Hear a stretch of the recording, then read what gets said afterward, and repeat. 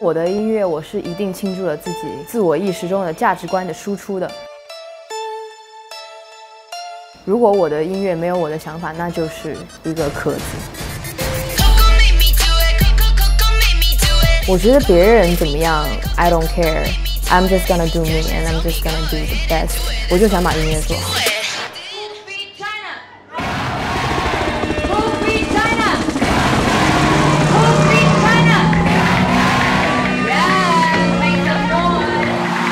在见到他之前，我都还是挺紧张的，因为他的音乐实在是太凶了，有点把我吓到。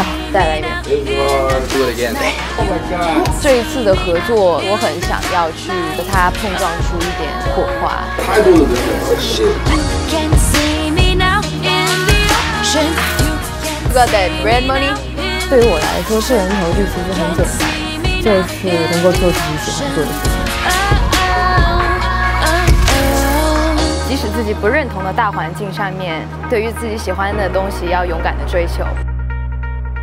我是 Lexi 刘玉瑜，我是一个独立音乐人。